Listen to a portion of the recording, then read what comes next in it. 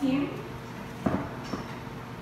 May I just highlight that uh, before you know him as Congressman Roilo Golez, he went to the United States Naval Academy at Annapolis, where he graduated with a Bachelor of Science degree, major in mathematics and operational analysis. May I also mention that he's uh, quite a sports, uh, uh, a medaled sportsman at the uh, Naval Academy.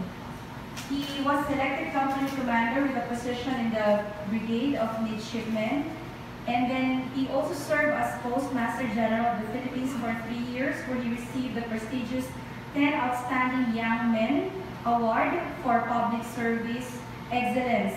He was also a member of the Philippine Cabinet, having served as National Security Advisor he became a member of the House of Representatives for 18 years. That's a total of six terms. That's uh, for the 9th, 10th, 11th, 13th, 14th, and 15th Congress. So I'm sure you have lots of questions about him on the workings of uh, Congress, and I hope he can also share his insights with us later on. Um, before, um, in his last term as the head of the House contingent to the Commission on Appointments, he was also the chairman of two important committees, the Committee on National Defense and Committee on Public Order. He also became the governor of the Philippine Red Cross for 20 years, where he received the Bayani Red Cross Gold Medal Award. He also became, he's also a Navy officer, reaching the rank of Navy Captain before he retired from the Armed Forces of the Philippines. He is the founder of the Kapasisigan movement and one of the three lead conveners of the West Philippine Sea Coalition. So without further ado, please join me in welcoming former NSA, former Congressman Roilo Golez. Thank you. Thank you so much. Good afternoon to everybody. Good afternoon to the members and participants of the Police Attaché course, class 2017 cohort. And I understand that uh, you're looking forward to a very exciting uh, assignment in the future as police attachés uh, in uh, various areas where you can learn a lot and you can represent the country very well.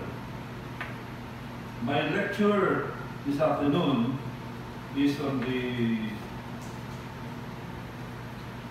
uh, topic, the Philippines faces a security challenge in two fronts. Benham Rise, now known as uh, uh, Philippine Rise, and that is in the east, and Scarborough Shoal in the west. Uh, alam ko ang uh, number one topic ngayon, uh, Marawi, which is very close to the police. In fact, uh, I've had two sessions uh, today about the martial law in Marawi. I was uh, a guest in a TV show at 6 o'clock in the morning. After that, uh, I was a guest again in a talk show, Tapatan sa Aristocrat, uh, uh, a two-hour discussion with media on what's happening in Marawi, about martial law, etc., etc. However, we should not allow ourselves to be distracted by uh, this problem in Mindanao because you know our adversary to the north, that big country China, sometimes is just waiting for us to be distracted and then they move again. So when we try to attend to a domestic problem, we should always be aware of uh, this external threat that we are facing. By the way, in the last time that uh, representatives of the armed forces of the Philippines appeared before the House, and uh, this was in the Committee on National Defense, which I chaired also during my time, the delegation of the AFP reiterated that we continue to face an external threat, and that is China. So let us not uh, forget that. The Philippines faces a security challenge in two fronts. It used to be only one front, the West Philippine Sea, but now we're talking of uh, the west and then uh, the east. Now let's talk about a challenge that we've been facing since uh, even in the 80s. And then it really picked up in the 90s, and uh, it became a lot worse uh, in the 2000, 2010, 2012, until now. The security challenge in the West. My involvement in this uh, concern goes back uh, to 1971 when I was a new, new graduate of the Naval Academy. Less than a year after, I was uh, made a part of a secret mission that went to the Spratlys, to our islands there, in order to resupply the our islands there with troops, weapons, equipment, and uh, other things uh, in what was then called Freedom Land, now called Kalayaan Island Group. So my concern, my participation, my solidarity goes back so many decades, more than 40 years. I'll show you a photo of the original structure of stilts that uh, looked like this when this was discovered by the Philippine Navy in 1994. This resulted in uh, complaints and protests from the Philippine government, but uh, the Chinese uh, government assured the Philippine government at that time that don't worry, this is temporary, this is for the shelter of fishermen, and our protest and the controversy quieted down.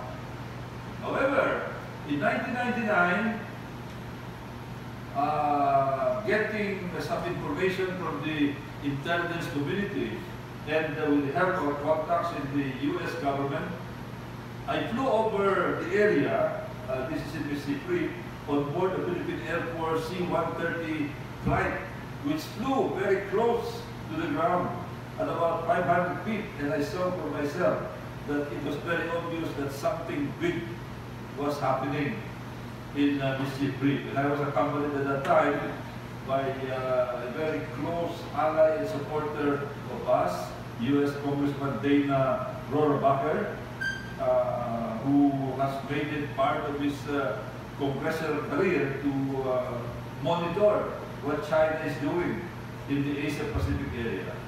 And after this, after taking a look at the, the situation there, I announced this in the Philippine House of Representatives when I was serving at that time uh, on my as a three-term congressman. I was then the chairman of the Committee on Public Order and Security, which incidentally was the one overseeing the, the budget and the operations of the Philippine National Police, the Bureau of Jail Management, and uh, Bureau of Fire Protection. And uh, delivered a speech uh, regarding my revelations in Congress, and of course the resulting uproar in media that uh, the Chinese uh, denied uh, about the construction activities. In 1999, China completed their structures in the Secret, which was transformed into a military installation instead of simply shelters for fishermen. So now, what used to be a small structure, this one is the original, has be, had become much bigger in violation of our Philippine Exclusive Economic Zone awarded to us by the United Nations Convention on the Law of the Sea, which means uh, the 200 nautical miles from our shoreline. This is about 120 nautical miles from Palawan. And in December 1999, I delivered a privileged speech in Congress about Scarborough Shoal after studying the pattern of uh, movement of China in the area with uh, my little knowledge of uh, sea power, I was able to make a bold prediction. And I said, Scarborough Shoal is part of China's military projection at the South China Sea. I uh, prefaced that by saying, in Scarborough Shoal, China has found a perfect forward fortress. At the east to back up its slow but non-stop political and naval march towards the north. Along uh, the length of uh, the Philippine archipelago, where there are Korea, Japan, Taiwan, and others. China has unleashed a flood at the South China Sea, floating eastward, growing slowly, menacingly, nearly unopposed, devouring every speck, every shoal and reef along the way. You know, when I said that, many of my colleagues said that I was uh, an alarmist during the interpellation. I said, where did you get this uh, idea? And of course, the rest is history. 2012, China seized Scarborough Shoal after a uh, few weeks of standoff. And now, it is my considered opinion that China plans to build on Scarborough Shoal, not just to control it, not just to blockade it, but uh, control it. In fact, they announced that they're going to, there was a news report that China was going to build an environmental monitoring station on Panatag. What is an environmental monitoring station? It means a weather station. And you cannot have an environmental monitoring station without a physical structure as a base. And of course, some people say, well, weather, weather uh, it might even help us. But let us remember that a weather station, especially if they're using a Doppler radar, has a long range of maybe 200 nautical miles, maybe more, and a very advanced Doppler radar that I'm very sure the Chinese uh, are capable of installing there, can detect raindrops about 200 miles away, can detect birds and even large insects about 200 miles away.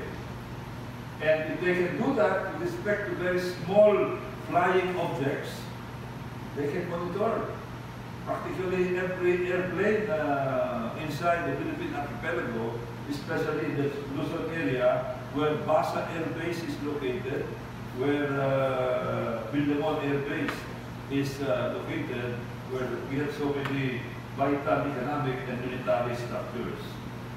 Scarborough is considered very important by global strategists. In fact, in the U.S. Senate Committee on Foreign Relations, the former commander of the U.S. Pacific Command, the Pacific Command for information of the police officers here, encompass one of the big, I think the, the, the biggest uh, area, military area, uh, being uh, monitored and uh, controlled by the U.S. Uh, Armed Forces from the U.S. West Coast all the way to the end of the Indian Ocean, uh, up to the Arabian uh, Sea. And when Admiral Dennis Blair appeared there, he said very categorically, and I quote, I think we should be prepared to take military action in Scarborough Shoal.